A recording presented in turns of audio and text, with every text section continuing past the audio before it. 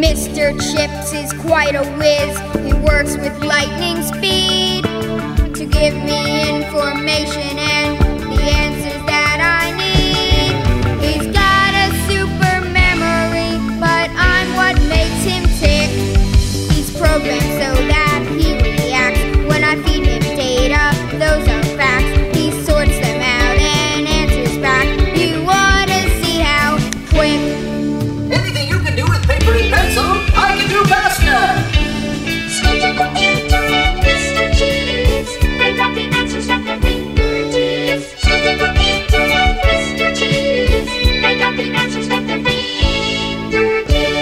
Mr. Chips, let's show these kids how much we know. I type my questions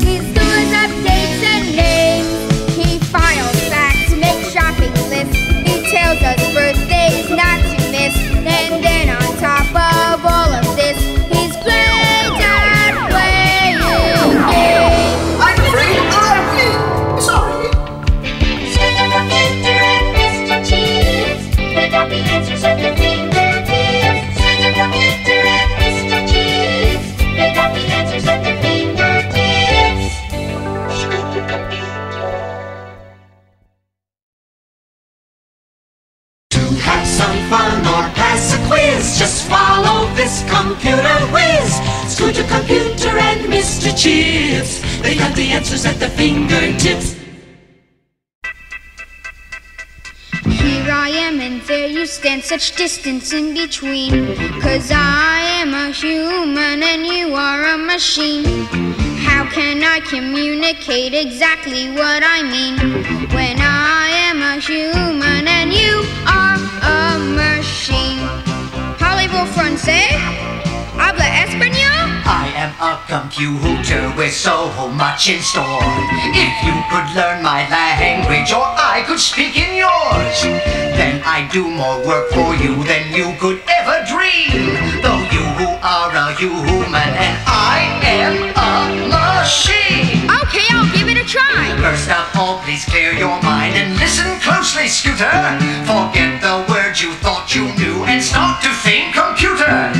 Computers change the letters and the numerals humans type to a numbered code made up of things that we call bits and bytes. Bits?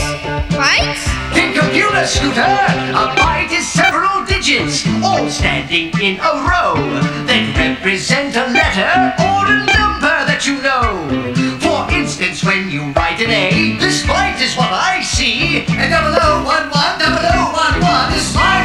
of saying three. A bit is one little bit of a byte. I get it. Bits and bytes are sort of a computer alphabet. That's right, but ABCs and one, two, threes isn't talking. Hey, let's face it, that's why one language that we use is called Computer Basic. Computer basic. Beginner's all-purpose symbolic instruction code. Basic is a language that most computers know. And once you start to speak it, communications flow. You use words and phrases, I use bits and bytes instead. And Basic lets us understand what the other one just said. So basic is a language that I can talk in human and you can talk in machine and we can understand each other. Yes, BASIC is the language you'll be using to feed in my data. It's also the language all my programs or software are written in. Data, program, software. Data is information. Data means the facts. It's everything you store in me for solving problems back. A program means directions that tell me what to do, how to analyze my data and find answers just for you. And software is just another name for all the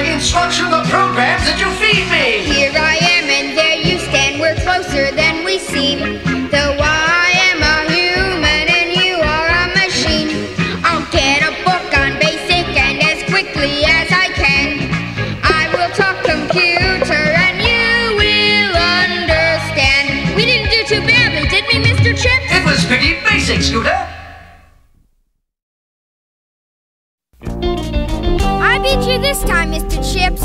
You're really good at these video games, but I can beat you sometimes. Of course, Scooter, because I'm no smarter than the person who programs me. After all, I'm only hardware, just like nuts and bolts. Oh, yeah? You're the smartest bag of nuts and bolts I've ever seen. Listen, Scooter, some people assume that simply because a computer can gobble up all kinds of numbers and facts and figures and whatever data you happen to feed it, some people assume because a computer knows how to remember instructions and data, whatever it's told, and deliver it back whenever you need it, as quick as a wink.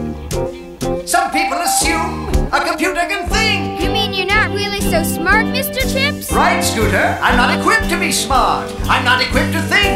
I'm equipped to use software and process information, not to understand it. What software? The instructions you decide to give me. How do you use software? I use software with my hardware. The terminal keyboard you touch when you want to say hi to me, that's hardware. My video screen when I want to reply to you, that's hardware too. And this complicated equipment crammed inside of me, too tiny for you to see, that's hardware too. Nothing but diodes, capacitors, and resistors, interconnections and transistors jammed together like canned sardines. Thousands of teeny tiny machines printed on microscopic strips called chips. Chips? So that's why they call you. Precisely. Gee, Mr. Chips, you have a great brain. Brain? No, Scooter, I have no brain. Some people assume that simply because I can beat them at math and word games and chess and checkers, invaders and raiders all in the same afternoon. Some people assume because I can shoot off a rocket and chart it and clock it, control it, command it and steer it and land it precisely there on the moon. It's hard to explain. But some people assume I have a brain. Okay, but if you don't have a brain, how can you do so many different things? Because of the different kinds of software people can feed me. Scientists or secretaries, astronauts or accountants, managers or musicians. As long as it's put in a language I can understand, I can store the directions in my chips. I assure you I haven't a brain and I haven't a heart. And my chips would feel no pain if you took me apart. And I'll never know good from bad, or black from white. And I'll never know happy from sad, or wrong from right. I'm nothing but diodes, capacitors, and resistors, interconnections, and transistors jammed together like canned sardines. Thousands of teeny tiny machines printed on microscopic strips called chips. And it's all hardware, just like nuts and bolts. You're sure a smooth talker, Mr. Chips. Maybe so, Scooter, but you're the brains of the operation.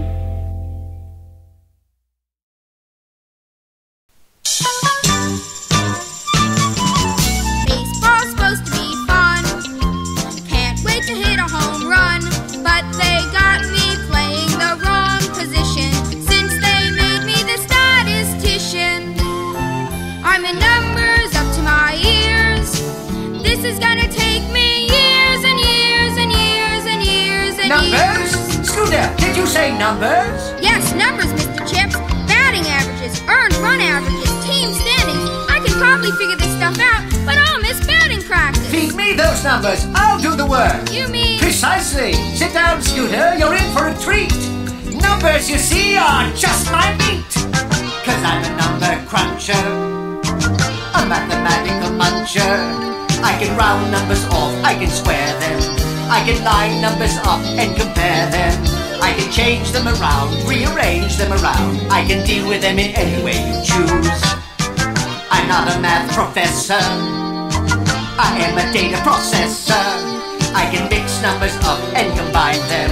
I can take them apart and align them. I can shake numbers up. I can break numbers up. I can turn them into something you can use. Punch them, I can crunch them.